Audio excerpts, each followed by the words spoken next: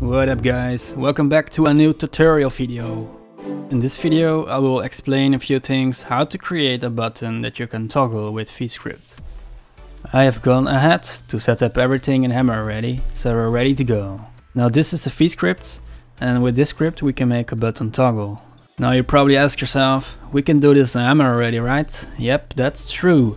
But with VScript you can do so much more and it's much easier to edit and create advanced stuff without compiling all the time. Now I will try to explain it a little bit and as you can see we have a highlighted uh, row here with a variable which is called button state which has a very important role of remembering if the button is on or off.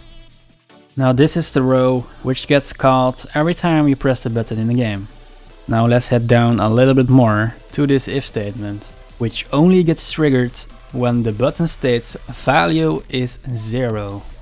So when we go in game and we press the button for the first time, this gets triggered. Now on the last line here, we will change the button state to 1 because the button is now on. If we don't do this, we cannot toggle the button when it's pressed again. When we press the button in the game again, this function gets called again and because the button state is now 1, we will go to the other if statement which only gets triggered when the button state is 1. And do not forget, because the button is now off, we will have to change the button state's value to 0. Now this way we have created a little script that will allow us to toggle a button with VScripts.